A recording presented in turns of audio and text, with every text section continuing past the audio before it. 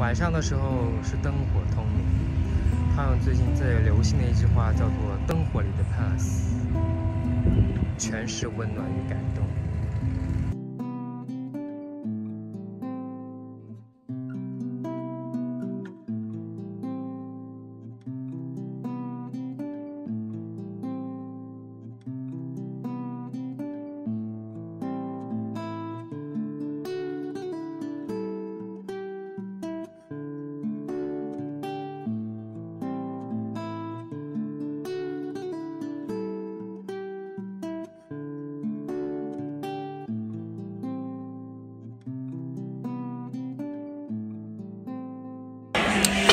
朋友来过情人节，非常好的朋友，然后我们点了一个鱼，我们本来以为是熟的，结果是生的，但是我们都说是好吃的，大家看一下。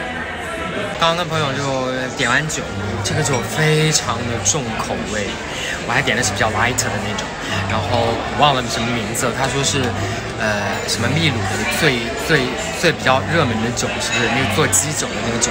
然后点了个鱼，然后朋友点那个米饭。我这个鱼呢，看上去有点失败，我给大家看一下，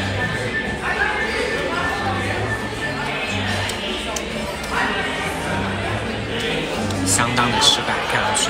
我朋友看去那个超级无敌美味，嗯，给大家看一下，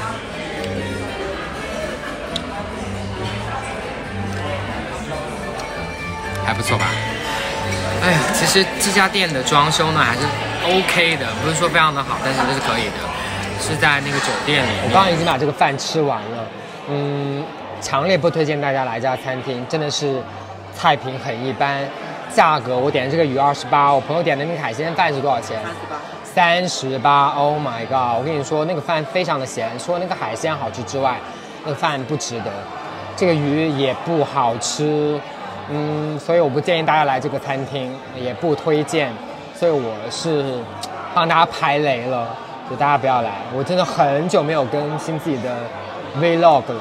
然后正好今天是大年初二，在这里就跟大家拜一个晚年，祝大家新的一年里能够有新的气象，牛年大吉，同时扭转乾坤，步步高升。最重要的当然就是身体健康喽。然后希望大家能够继续关注我的频道，我爱你们，I love you so much。This is Aiden, Aiden about Aussie. I'm impressed. See you next time. Bye bye.